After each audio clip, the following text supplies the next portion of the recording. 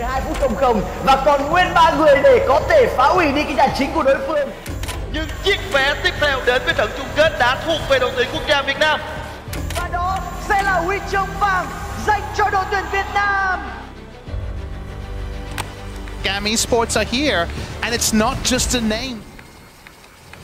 And we have to take a second to recognize where this team started coming into the tournament. Again, completely discounted from even the play-ins. People were saying there's no chance this team makes the groups, let alone competes in the groups.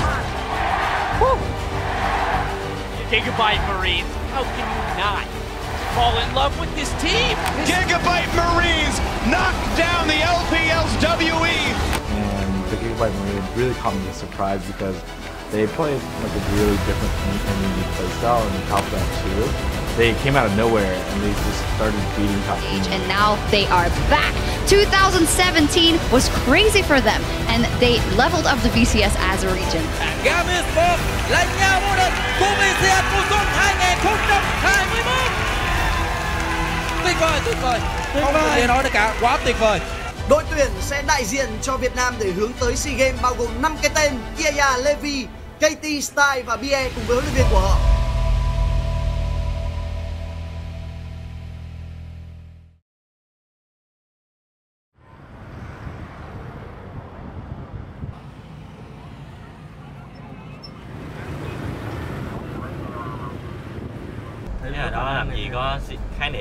Esports là gì đâu. Đúng rồi thì lúc đó ông chưa nghĩ chơi, mình chơi sẽ kiếm tiền. ba mẹ kiếm đồ mới vui chứ à trốn trốn Xách cái đầu về nè, xách cái đầu về. Thì sao chơi con net nào kiểu ba mẹ biết luôn ha rồi tôi lúng quán kiểu như cũng mò là được gái thì chứ.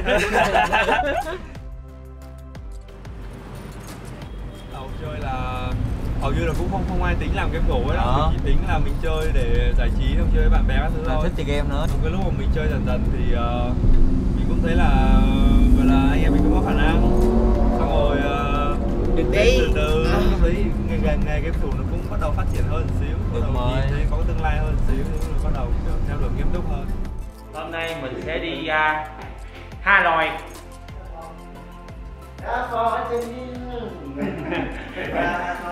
Hà Nội thi đấu CM em qua đó để lấy huy chương vàng lấy huy chương vàng xong rồi tối hai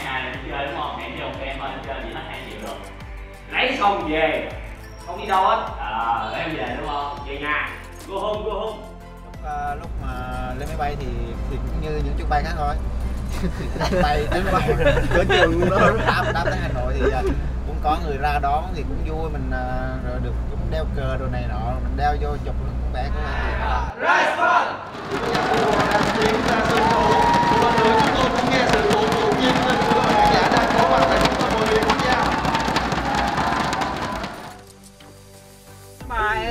vẫn nghe người bảo là đi uh, mà đi xe demo mà đi demo là xe này. Ờ, demo nè. là team ủa em sạc team- trên team- uh, ý là team- em nói em lên ngồi sạc lên demo là nó dài không ấy là nó có hai hai- loại là Có xe vừa nằm. ừ xe em đeo tưởng mà. là, nó là em tưởng cái xe đó chứ. Cái xe này nó không đủ dài thôi em hả mua đi rồi sao bà nhưng mà nay là đi nhận bằng khen thì team mới thuê cho xe sang để đi đi nha. Ê, tiếng đâu đây nam mình gặp à, thủ tướng đồ ha? Đã ha.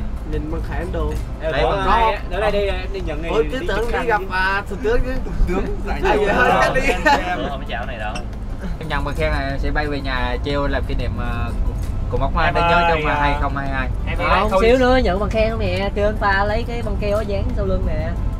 Nghe theo mình đi. Lấy uh, treo cái cái, cổ treo lên cái cổ này nè xong Không. rồi đi. Treo lên tim á treo ngực nè. Đó bạn nó bự cỡ này nè. Thôi nhận bằng khen thì Đem về nhà cho mẹ. Ờ, mang về nhà cho mẹ. Đừng mang công tiền về cho lấy, mẹ. à, lấy bằng khen thì mang về cho ba mẹ. Em uh, huấn luyện viên nên là không có cùng đẳng cấp với mấy người kia. Nên là em ở đây. Đây là bạn huấn luyện viên còn bên kia là bạn cốc ké. Đó anh quay qua cái bạn cốc ké rồi đó thấy không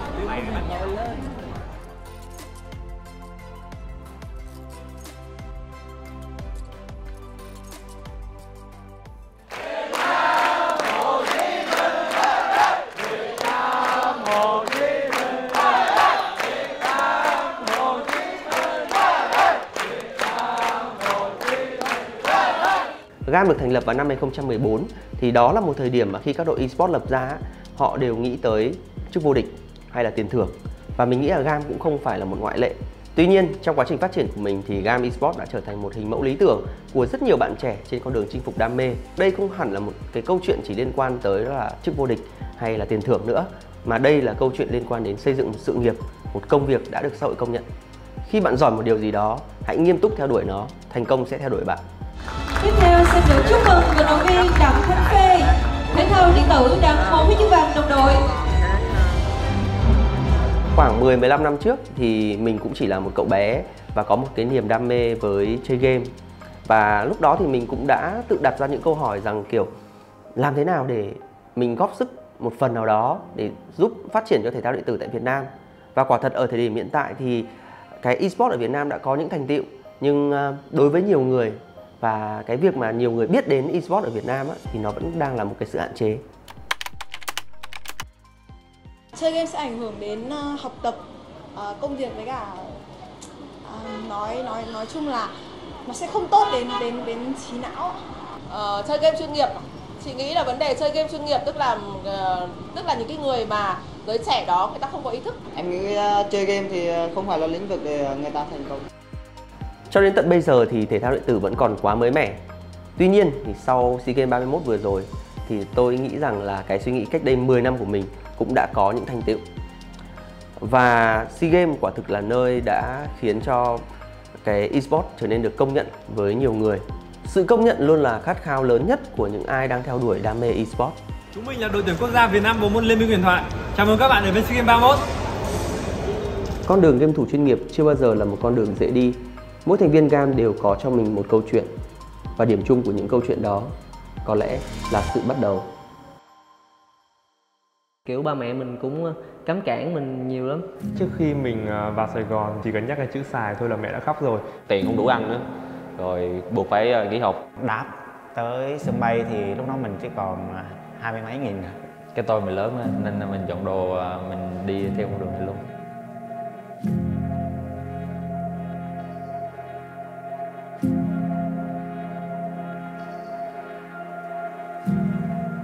Từ hồi nhỏ là mình đã học ờ, lớp 1 và mình đã bỏ ngang. Tại vì ờ, lúc đó thì gia đình mình có điều kiện không cho phép.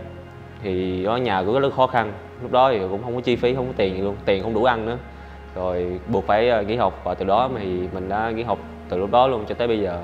Từ lúc mà mình chơi liên minh là mình đã biết đọc chữ. Và đó mình cũng có thể, gọi là, giao tiếp được. Mình có thể chat được cái tất cả mọi người rồi, kiểu, ví dụ ví dụ mà mọi người có thể chat gì trong game thì mình có thể hiểu được hết và mình có thể đọc được mình nhớ là mình cũng có vài thời điểm cũng hơi khiến mình kiểu ờ, uh, là gọi là tuyệt vọng. Hồi điểm đó là mình mới bắt đầu vào uh, thi đấu chuyên nghiệp là là cũng là gam luôn. Mùa đó thì mình vào lần đầu tiên thì mình cũng không có nhiều kinh nghiệm và lúc đó mình còn rất là non trẻ. Lúc đó mình chưa có kỹ năng thôi chưa có gì hết. Cho nên lúc đó, lúc đó mình thi đấu rất là tệ và cũng không có gì nổi bật.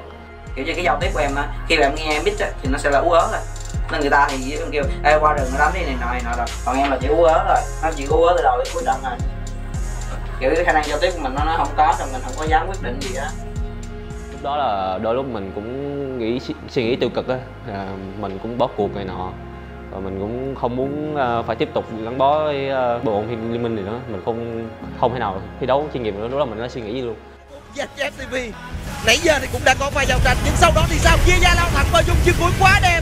Hai điểm hạ gục cho gam gỡ gạt lại. Victory làm choáng được play nhưng liệu sát thương của anh ta có đủ hay không đây khi mà kia ra tới hỗ trợ cho người chơi đường giữa của mình victory không còn tốc biến nữa và cố gắng né những đòn đánh thương thì làm sao mà né được? À, điều đó thì động lực to lớn nhất của mình vẫn là những người thân xung quanh mình. Thứ nhất là gia đình thứ hai là vẫn là bản thân mình thôi. Cứ mỗi lần mà mình cảm thấy tuyệt vọng hay là mình cảm thấy cái gì đó mà nó không còn hy vọng nữa thì mình điều đầu tiên mình luôn nghĩ đến gia đình mình. Thì cũng không hiểu sao tại vì mỗi lần mình luôn nghĩ đến mình là là mình sẽ có động lực và mình lúc đó mình sẽ cảm thấy uh, cần phải cố gắng và nỗ lực nhiều hơn nữa.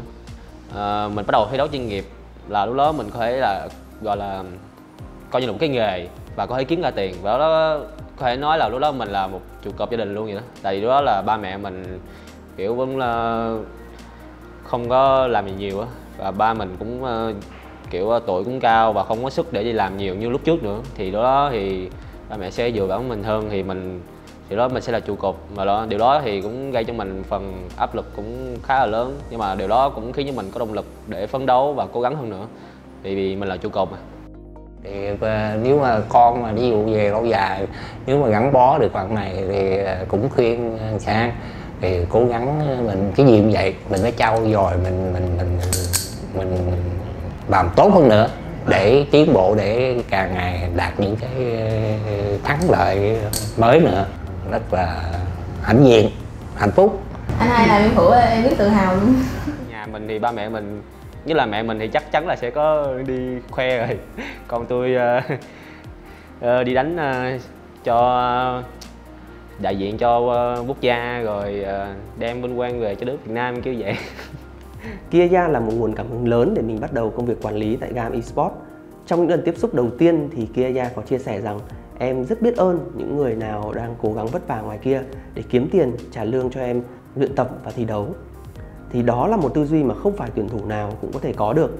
Thế nên khi mà mình tuyển các tuyển thủ tiếp theo tại GAM Esports thì các bạn đó phải hội tụ đủ các yếu tố đó là về mặt kỹ năng, tư duy và thái độ.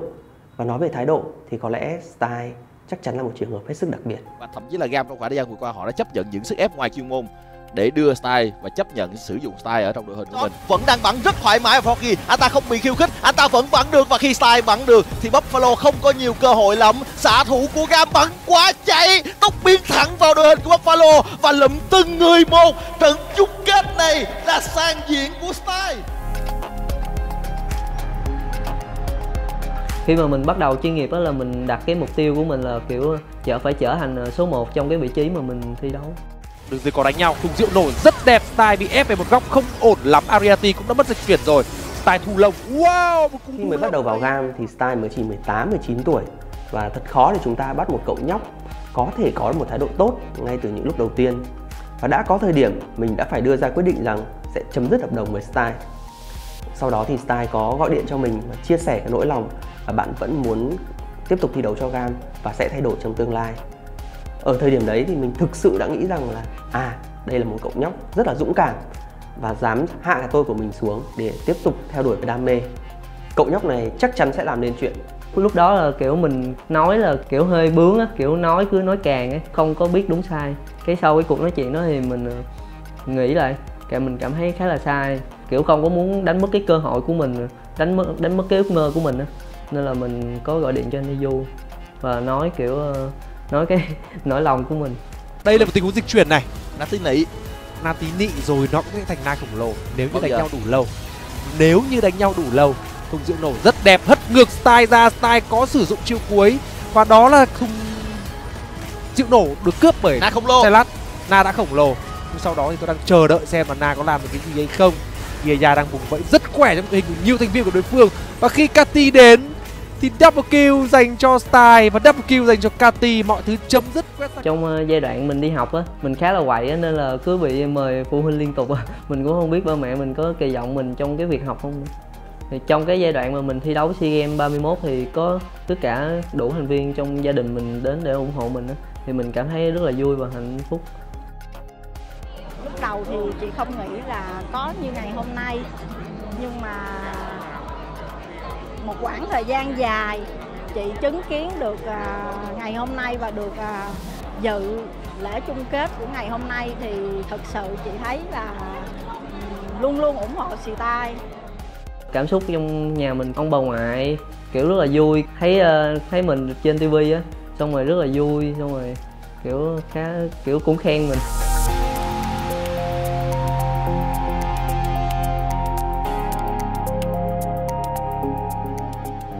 Lúc đó là mình tầm 15 16 tuổi thì lúc đó mình à, được đi làm nhiều nghề. À, bởi cái này gọi là bởi ba mình tại vì ba mình à, cũng muốn mình làm một cái nghề này theo ý của ba mình cho thành công ấy, thì ba nói chung cũng bắt mình làm nhiều thứ. Rồi sau cùng thì mình cũng không thích rồi không hợp thì mình cũng đi đây đó. Bố em là một người nông dân. Gì vậy Chắc sẽ nói không? Câu trả lời là vẫn chưa thiên mệnh khởi biến đẹp nhưng nó chưa đủ hiệu quả để có thể khiến cho Deep Keep gặp khó khăn. Đó và kêu quá tuyệt vời từ wow. đúng vào chuẩn xác. Lúc đó thì Evot uh, bắt đầu giải thể thì mình uh, cũng có một số lựa chọn nhưng mà thấy uh, Gam thì có anh Khánh thì mình thấy khả năng vô địch rất là lớn cho nên mình chọn uh, gam thì lúc uh, vừa mình nhớ lúc khoảng khách đó là khoảng khách là lúc đó là mình vừa vô địch xong luôn thì mình có gặp về vấn đề một số vấn đề về à, gia đình rồi vấn đề xung quanh thì lúc đó bản thân cũng lúc đó cũng ở một mình à thì à, thường thường mình à, ở một mình mà buồn buồn thì thôi mình cũng cũng khóc như người khác thôi thì cũng không kiềm chế được thì mình cũng khóc. Thì lúc đó thì cũng có nhắn anh yêu minh thì mình muốn à, nghỉ game thì anh cũng chạy từ nhà qua game house để khuyên mình này nọ. Thì sau vài ngày sau thì mình cũng thấy ổn lại thì mình cũng bắt đầu lại con đường thủ lại thì mình không từ bỏ nữa, thì mình cố, cũng cố gắng tới bây giờ.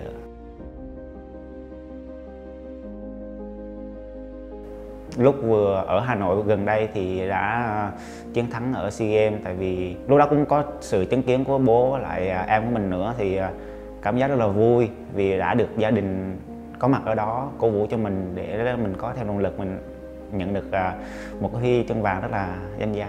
Ủa mẹ thì ai cũng không mong muốn nhưng mà qua thời gian thì cháu đánh thành công tốt đẹp thì bố mẹ thì cũng muốn để cho con hướng về có một tương lai rất là cảm động rất là sung sướng khi thấy con mình đánh một cái giải là, là phải nói là rất là thoải mái và cố gắng hết mình để đem đến À, cho uh, huy chương vàng cho Việt Nam đánh như băng đèn nó chứ động dòng mà nó đi à đủ luôn kể cả ê nó nó uống cô xin này chạy khánh chơi vậy thì chơi con, gì chặt cục ten khánh giờ hết trơn chơi diễn camera diễn đấy là khánh chơi ca ca thớt rồi mà ca thớt nóc tên quá đi đánh cả nóc tên Poppy Volibia hay là đánh con Lelia Dyna cũng được đi đi ra bỏ bỏ Poppy ra công với lại Vimo mày đang năm là mấy vậy? hai nó chơi đá nhiều chứ các bạn nghĩ à lúc mà đang còn nhắc á. mà nó có chơi tay ra bao giờ đâu. Ừ ý là cái lúc nó nhắc lên chơi là chơi tay ra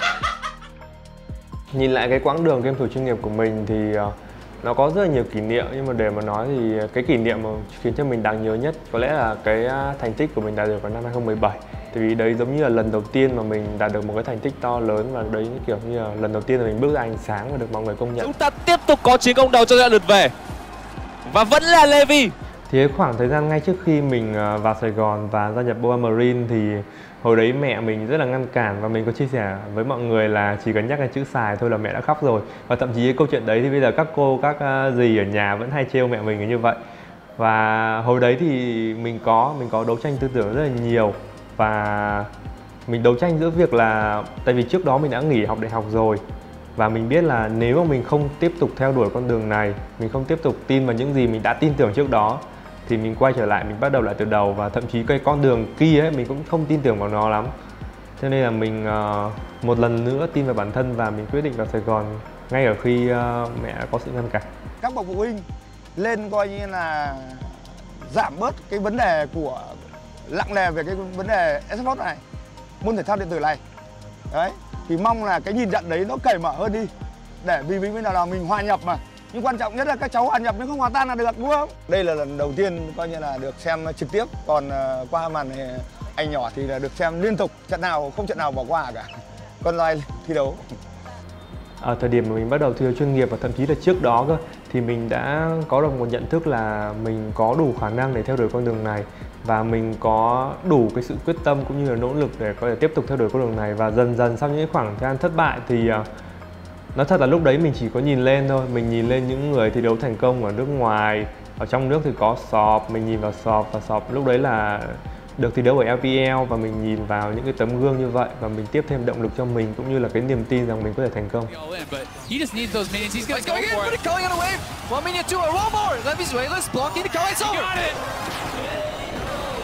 And we talked about it. Is it mechanics or is it intelligence? And Levy, he outbought Wayless. This was so smart. The crowd a little unhappy it's not a kill, but I, I gotta give this guy credit. He... Thì bước ngoặt trong cái sự phát triển sự nghiệp của mình thì nó đến từ giải All Star 2016. Khi trước đó thì mình chỉ thi đấu trong nước thôi và mình nhìn những người thi đấu quốc tế, nhìn những game thủ ở nước ngoài mình thần tượng họ, mình nghĩ rằng họ rất là giỏi và nhiều khả năng là mình sẽ không thể thi đấu được với họ và sau giải Onside Star 2016 thì mình mới nhận ra một điều rằng họ cũng chỉ là những con người như mình thôi, họ cũng có những cái điểm yếu, họ, điểm mạnh của họ thì mình cũng có những cái điểm mạnh của riêng mình và cái trình độ của mình thì nó có thể thi đấu cùng đẳng cấp với họ, tiệm cận họ hoặc thậm chí là ngang hàng hoặc là hơn. Cho nên là mình có thêm được rất là nhiều cái niềm tin cũng như là thay đổi cái suy nghĩ của mình và mình tin tưởng vào cái năng lực của mình hơn cũng như là những người đồng đội mình. Sau khi đạt huy chương vàng SEA Games thì ờ, khi mà mình về nhà thì rất nhiều người đến chúc mừng họ hàng xóm họ hàng xong rồi bố mẹ mình cũng đi khoe rất là nhiều cho nên là về nhà thì mình được rất là nhiều người chúc mừng và điều đấy khiến mình rất là vui và cùng với việc mà mình được về nhà để ờ, ở gần bố mẹ ăn cơm cùng gia đình nó cũng tiếp thêm nhiều năng lượng cho mình nữa. Việt Nam vô địch! Việt Nam vô địch! Việt Nam vô địch! Trong thể thao thì việc tạo ra di sản và truyền thống là điều hết sức quan trọng. Ở GAM Esports thì Levi là một trong những người đầu tiên có được cái ADN của nhà vô địch. Và người tiếp theo mình có thể nghĩ tới ở GAM đó chính là KT khi mà bạn đã là nhà vô địch trước khi đến với GAM Esports.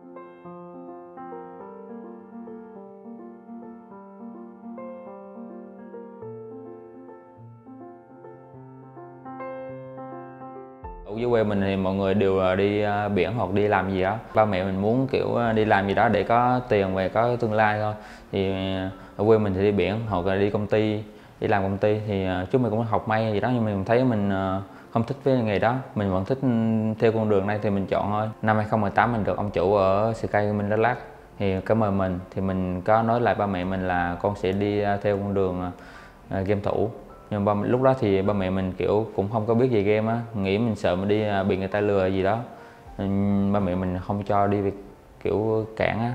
Thì cho nên nó kiểu ờ, cái tôi mình lớn nên là mình chọn đồ và mình đi theo con đường này luôn.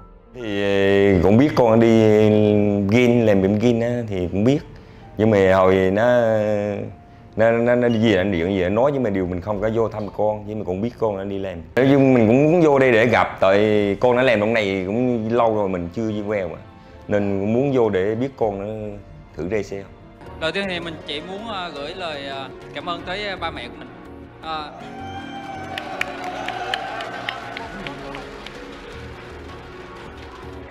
à, không biết là ba mẹ đang xem trực tiếp thì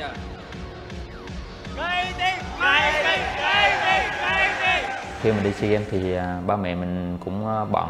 Nhưng mà mình đã gọi về ba mẹ mình hàng ngày, kiểu à, ba mẹ em có nói là ba mẹ cũng theo dõi con trên trực tiếp. Thì đó, ở quê mình thì nghĩ ai cũng xem thôi. Thì mình cũng thấy đó là cái động lực để mình cố gắng giành huy chương vàng về cho Việt Nam và đó sẽ là huy chương vàng dành cho đội tuyển Việt Nam. Việt Nam vô địch. Đó là những gì mà chúng ta sẽ hô vang ở trong khoảnh khắc này khi năm khi sáu chàng trai và các bạn huấn luyện của đội tuyển quốc gia Việt Nam đang cực kỳ vui mừng. Như ở trên màn hình như quý vị và các bạn đang thấy đây, chúng ta vui mừng là hoàn toàn có cơ sở bởi vì có được ngày hôm nay để có được ngày hôm nay thì chúng ta đã phải trải qua những ngày tháng luyện tập cực kỳ vất vả và một lần nữa hãy dành cho họ một tràng vỗ tay thật to đi nào Việt Nam vô địch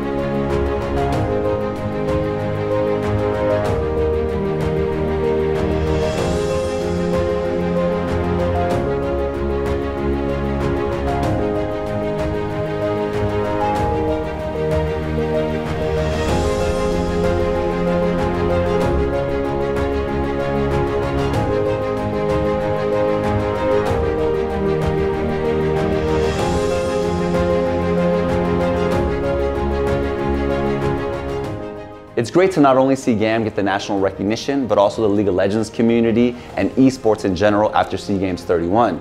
If you guys didn't know, after GAM won gold, the men's Vietnamese soccer team also won and the entire country celebrated.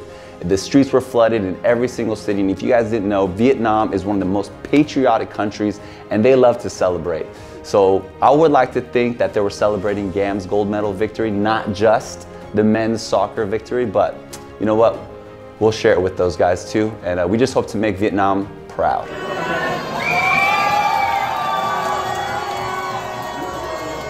Ủa mà anh em nhớ cái lúc đi ăn, lúc mình nhận huy chương xong đi ăn không? Vô quán đó để người ta kiểu uh... Ờ vừa bước xe là thấy kiểu không?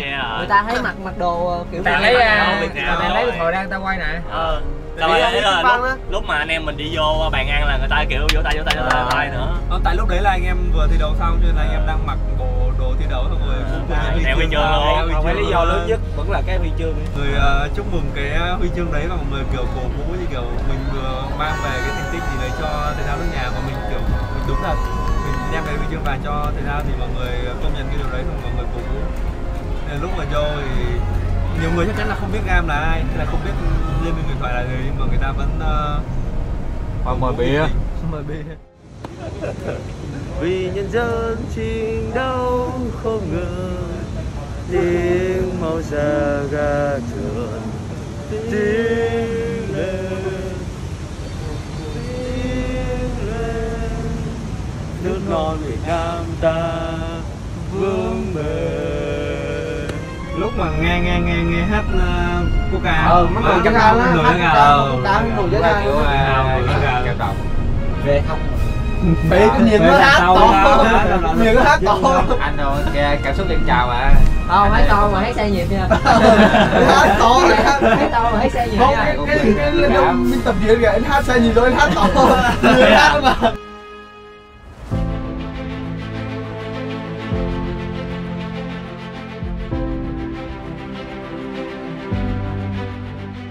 SEA Games là nơi Gam đã có được sự công nhận vì cống hiến cho đất nước. Nó là sự tự hào cho những nỗ lực mà mình theo đuổi. Đây là bệ phóng cho sự nghiệp tuyển thủ chuyên nghiệp vì sau kỳ đại hội, Gam sẽ có sự ủng hộ của gia đình, người thân và xã hội.